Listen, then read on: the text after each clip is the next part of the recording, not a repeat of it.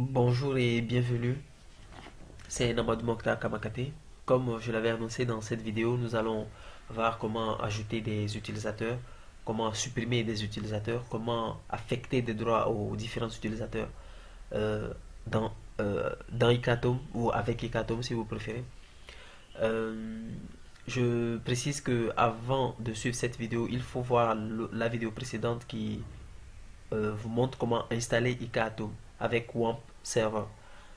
Euh, et je précise aussi que nous allons faire euh, ce que je viens de dire euh, dans une série de petites vidéos pour faciliter, pour faciliter le partage ou le visionnage, le téléchargement et tout ça.